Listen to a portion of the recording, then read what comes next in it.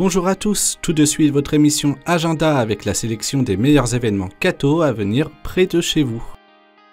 Et nous démarrons avec cette retraite pour couples qui ne sont pas encore fiancés proposée par l'abbaye Saint-Martin de Mondé dans le Calvados du 13 au 15 octobre.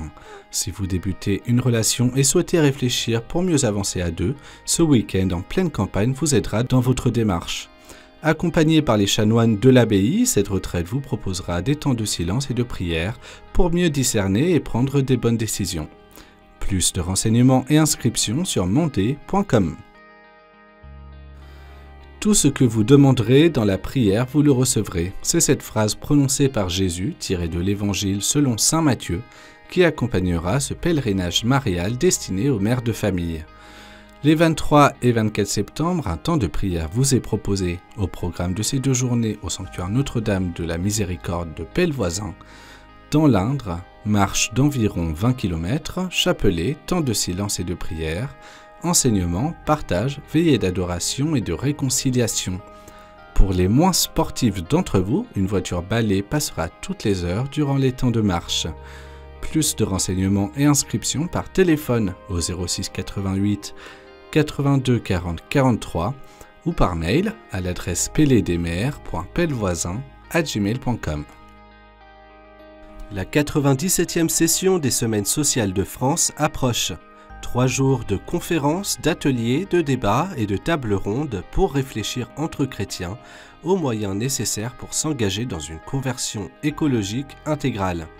Du 24 au 26 novembre, à l'Université catholique de Lyon et en ligne, les Semaines sociales de France vous proposent un riche programme sur le thème Écologie, préparons-nous à un changement radical.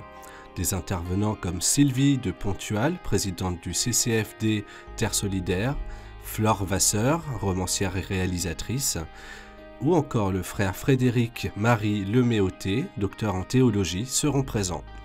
Parmi les thèmes abordés figurent l'émerveillement devant la création, les leviers d'action pour une nouvelle économie ou encore la justice sociale. Renseignements et inscriptions sur ssf-fr.org. Le congrès Mission 2023 approche à grands pas trois jours pour vous donner les clés pour démarrer l'année en réfléchissant à sa manière d'annoncer le Christ. Plusieurs dates sont proposées cette année dans différentes villes de France. Du 22 au 24 septembre à Marseille, en partenariat avec les rencontres méditerranéennes, puis du 29 septembre au 1er octobre, vous pourrez y participer dans sept villes en France. Besançon, Lille, Lyon, Nantes, Rouen, Toulouse et Tours.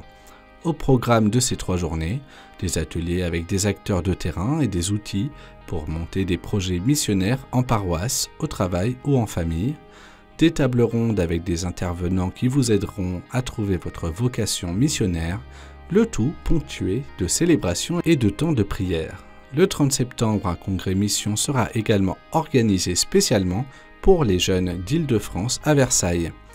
Pour avoir accès au programme complet et aux modalités d'inscription, rendez-vous sur congrèsmission.com. N'hésitez pas à nous transmettre les événements que vous auriez à nous proposer. Pour cela, deux solutions par mail à l'adresse agenda.kteotv.com ou par voie postale à l'adresse qui s'affiche.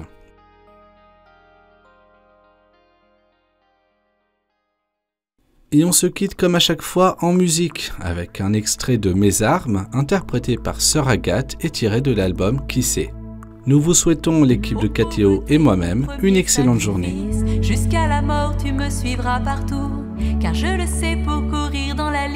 L'athlète doit se détacher de tout, goûter mondain, le remords et la peine, ces fruits amers de votre vanité. Joyeusement, moi je cueille en la reine les palmes de la pauvreté.